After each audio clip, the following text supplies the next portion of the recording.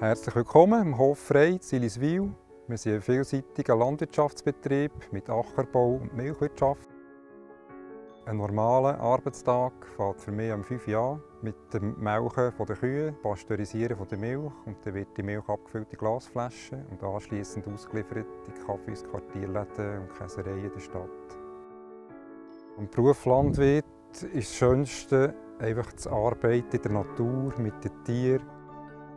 Was ich immer sehr schätze, ist, dass wir unsere Weide nicht ums Haus herum haben und wir morgen mit den Kühen, wir gehen alles mit dem Velo auf die Weide raus. Unsere Kühe können während der Vegetationszeit Alltag auf die Weide. Im Frühling, wenn die Temperaturen etwas kühler sind, ganztägig. Im Sommer, wenn es heiß ist, einfach am Morgen und im Herbst, wenn es angenehmer wird, wieder den ganzen Tag.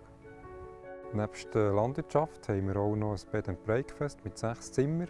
Außerdem haben wir noch Pferdepension und produzieren noch Schmineholz.